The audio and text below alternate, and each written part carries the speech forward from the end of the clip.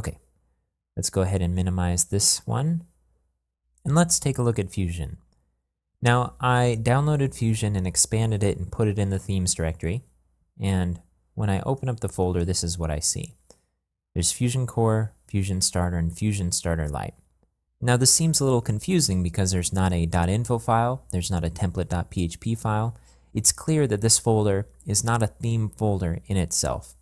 And if we took a look at the README file, we'd find out that actually this folder contains three separate themes that can be installed individually. So there's instructions on how to do that. So what we would end up doing is moving one or more of these folders up one level so that it was part of the themes directory. Let's go ahead and look at how Fusion Core is structured. I'm going to go ahead and scroll down. So you see we have some folders. We have one for CSS, images, and JavaScript. And then all of the template files are in the base directory, as well as the template.php and themesettings.php files. Let's go ahead and take a look at how the CSS is structured. I'm going to expand the CSS folder and scroll down. You see we have several files that start with grid. There's several that start with grid 12 and then several that start with grid 16. This demonstrates that this particular theme is using a grid system. If you're not familiar with grid systems, you should look it up. It's an interesting idea but there's specific styles directed at the grid and right to left grids as well.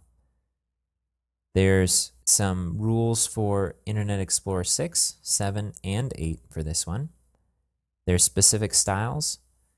And then there's this style sheet down here, typography, which is a separation out of the types of fonts that are being used and the styles around the fonts. So this is something that we hadn't seen in the previous themes that we looked at. And then there are several styles related to Superfish, which is a JavaScript-based, CSS-based drop-down tool for menus.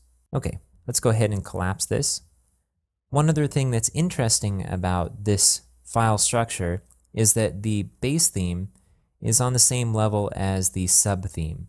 So in Zen, you saw that the sub-theme starter kit was inside of the base theme.